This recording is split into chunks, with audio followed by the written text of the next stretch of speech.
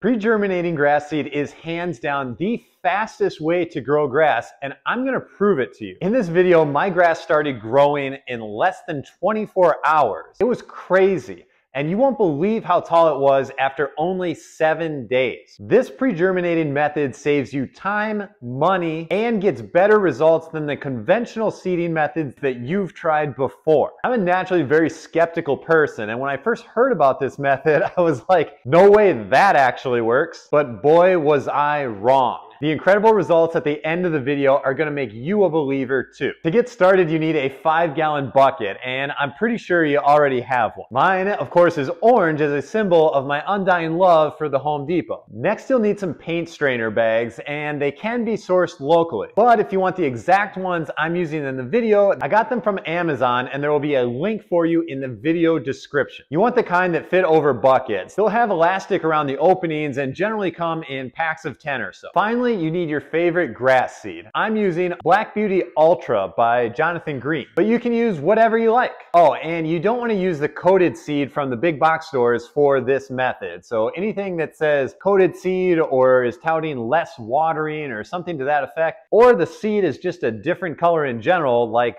blue for example, that's a no-go. You want pure, unaltered grass seed for this, aka the good stuff. Stretch one of the paint strainers over the end of a bucket and grab that favorite bag of grass seed. Quantity depends on how big of an area you're actually seeding. So just pour in whatever you need. Now for big seeding projects, you might need multiple bags and multiple buckets. Remove the strainer from the bucket and tie it off on one end so none of those little seedies can escape. Fill your bucket full of water, but leave just a little bit of room at the top because next we'll be submerging the bag of grass seed for 24 hours. You do want it fully submerged, so you might have to add weight to the top of it to keep it under the water. Mine sunk to the bottom after getting wet, but sometimes they like to float. So again, you'll need some sort of weight to put on the top just to make sure it stays underwater. The absolute hardest part about growing grass seed conventionally is keeping the seed wet for that first week. I've spent hours and hundreds of dollars moving sprinklers, adjusting timers, using various ground cover like peat moss and straw to hold that moisture in and keep that new seed wet. The pre-germination process shortcuts that whole situation because I'm doing the hardest part before the seed is even in the ground. By pre-soaking the seed for the first 24 hours and then continuing to dunk the bag every 12 hours thereafter, I'm starting the germination process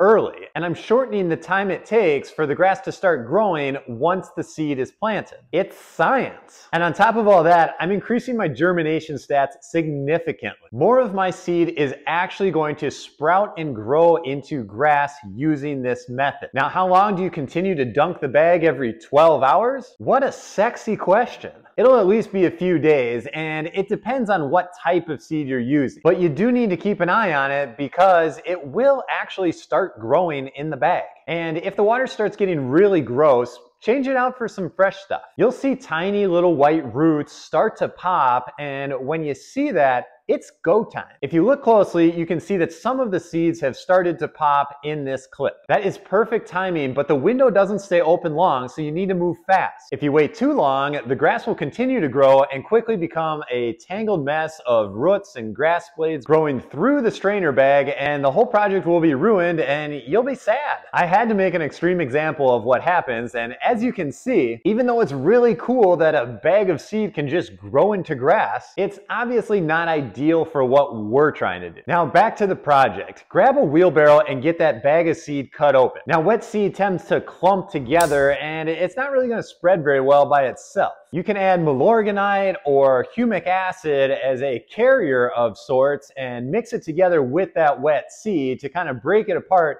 and get it to a point where you could put it in a broadcast spreader and have success. With my Milorganite all mixed in, I could actually spread this seed a lot better now and it's a little more workable. But for my project, I'm just gonna be spreading it by hand because it's a relatively small area. I'm doing three separate test areas. The first one is an area in my lawn that I've aerated and done some leveling work to. The second is an outdoor planter where I can easily monitor results. And because I don't trust the weather in the fall in Minnesota, I did a third test in an indoor planter tray. Now each of my test areas features pre-germinated seed planted next to seed that hasn't been soaked in water. All three tests utilize the same dirt and the same prep method. The same brand of seed taken from the same bag, the same light conditions, the same watering schedule, literally the same everything, with the only variable being that some of the seed is pre-germinated and the other isn't. I couldn't believe it, but in the first 24 hours, I actually had sprouts. This is largely due to me timing things because as soon as I started seeing those tiny white roots start to show through the bag, I quickly cut it open and planted my seed. By doing that, I was able to hit the timing perfect so that the seed was just about to pop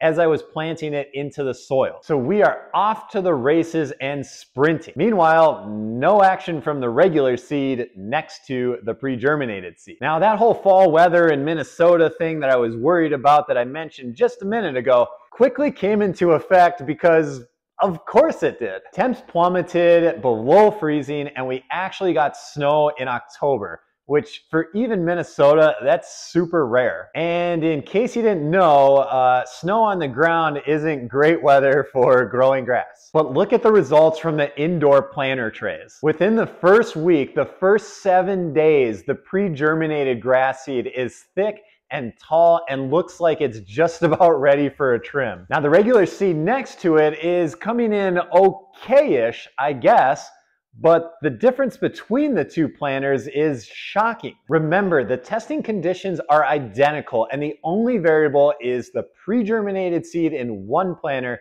compared to the seed that wasn't soaked in water in the other planter. I didn't think the results were gonna be that different, but Boy, was I surprised, and now I'm convinced that this is the way to plant seed. The fall temps stay cold for my outdoor tests, but I still have clear results that are consistent with the indoor testing. The pre-germinated grass seed outgrew the regular seed in all three tests. Outdoors, indoors, it didn't matter. Pre-germinated actually dominated the regular seed. And it wasn't even close. I'll definitely be pre-germinating all of my grass seed projects from here on out. If you like this video, and I hope you did, think about subscribing to the channel. I've got more great content and testing coming soon. And if you've used the pre-germination method before, let me know how it worked out for you in the comments. Well, see you later.